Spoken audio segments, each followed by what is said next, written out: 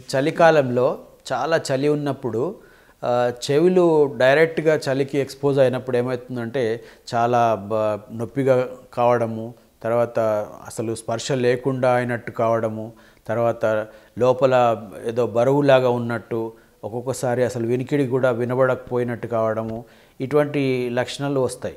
So చలి effect చెవికి రాకుండా ఉండాలంటే మనము వీలైనంత వరకు చలిగాల్లో పోకుండా చూసుకోవాలి తర్వాత నైట్ చల్లగా ఉన్నప్పుడు బయటకు పోకుండా చూసుకోవాలి.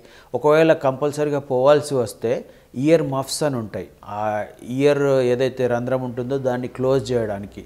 లేదా కాటన్ పెట్టుకోవడము లేదా ఈ బ స్కార్ఫ్ కానీ మఫ్లర్ కానీ అటువంటివి మంకీ క్యాప్ అటువంటి ధరించుకొని బయటకు వెళ్తే ఆ డైరెక్ట్ చల్లగాలి ఏదైతే ఉంటుందో అది చెవు లోపలికి పోవడం చెవు ఏదైతే పిన్న ఉంటుందో బయట చెవి దానికి ఎక్స్పోజ్ అయి దానివల్ల నొప్పి తర్వాత ఆ చల్లదనము ఎఫెక్ట్ కాకుండా మనము ప్రొటెక్ట్ చేసుకోవచ్చు.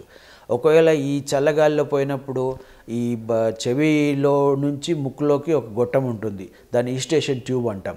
సో దానివల్ల ఏమవుతుందంటే ఈ చల్లగాలితోని ముక్కులో ఇన్ఫెక్షన్ రావడము తర్వాత ముక్కులో అలర్జీ రావడము ఈ తుమ్ములు రావడము బాగా నీళ్ళు రావడము ఇవన్నీ అయినప్పుడు ఏమవుతుందంటే ముక్కులో నుంచి ఆ ఇన్ఫెక్షన్ ఈ స్టేషన్ ట్యూబ్ ద్వారా చెవిలోకి వెళ్తుంది. సో చెవిలోకి వెళ్ళినప్పుడు ఆ చెవిలో ఉండే లోపల మధ్య చెవిలో ఫ్లూయిడ్ తయారయ్యి లోపల ఆ ఫ్లూయిడ్ వల్ల వినికిడి లోపం రావడము తర్వాత అప్పుడప్పుడు గిడ్డినెస్ రావడము తర్వాత అప్పుడప్పుడు ఏమవుతుందంటే లోపల ఫ్లూయిడ్ చాలా తయారైపోయి కర్ణబేరికి రంధ్రం అయ్యి ఫ్లూయిడ్ చీమ్లాగా తయారై బయటకు రావచ్చు.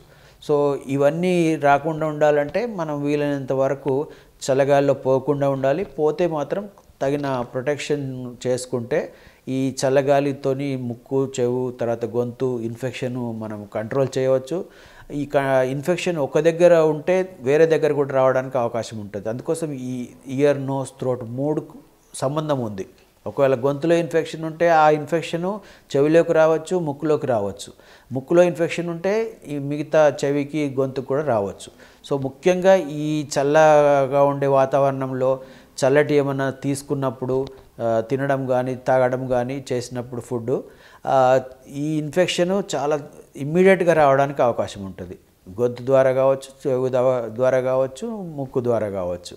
సో వీలైనంత వరకు ఈ చలికాలంలో వేడి ఆహార పదార్థాలు తీసుకోవడము వేడి సూప్స్ లాంటివి టీ కాఫీ లాంటివి తీసుకోవడము తర్వాత బయటకు వెళ్ళకుండా ఉండడము వెళ్తే ఈ క్లోదింగ్ ఉలెన్ క్లోదింగ్ తర్వాత స్కార్ఫ్ తర్వాత ఇయర్ మఫ్స్ అటువంటివి తర్వాత నోస్కు మాస్క్ లాంటిది కట్టుకోవడము బయటకు టూ వీలర్ మీద అట్లా వెళ్ళాల్సి వస్తే మంచి హెల్మెట్ పెట్టుకోవడము కారులో కార్లో అట్లా వెళ్ళినప్పుడు గ్లాసెస్ పైకి వేసుకొని వెళ్ళడము ఇవన్నీ చేస్తే మనము ఈ బ- వింటర్లో వచ్చే ఇయర్ నోస్ థ్రోట్ డిసీజెస్ నుంచి ప్రొటెక్ట్ చేసుకోవచ్చు.